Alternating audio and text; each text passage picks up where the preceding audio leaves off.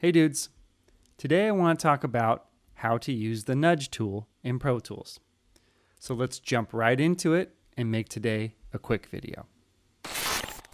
So I'm going to hit T a couple of times just to zoom in so we can see the playhead right here. And each one of these is a frame, right?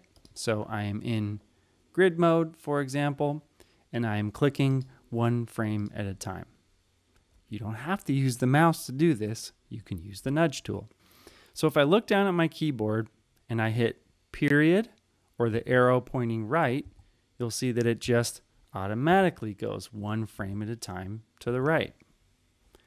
I then, of course, can hit the comma or the arrow pointing left and move one frame to the left at a time.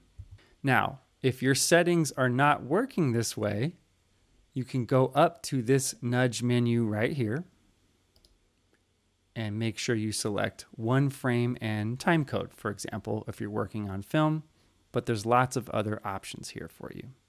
Additionally, you can move five frames at a time by hitting the question mark or slash button, and that moves five frames to the right, or the M button, which moves five frames to the left.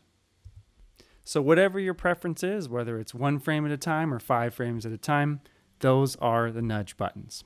Now, that was just moving the playhead, but we can also move a clip. So let's check it out. All right, so let's listen to this section right here. What if I can't explain designing the audio experience the right way? No, wait a minute, I got this. So I'm feeling like this clip here is happening a little too quickly and I want to nudge it to the right just a bit. So remember, I can hit, say, question mark a few times to knock this over here. Oh, one too many frames. I'll do comma to go backwards. Let's check it out again. What if I can't explain designing the audio experience the right way? No, wait a minute, I got this. Yeah, much better. Matches the picture a little bit more, leaves a little bit of space after that transition. Everything's all good. So there you go. That's the nudge tool. You can either use it with the playhead and nudge the playhead to find exactly where you want something to go, or highlight a selected clip and nudge it around left or right. One frame, five frames at a time. There you go.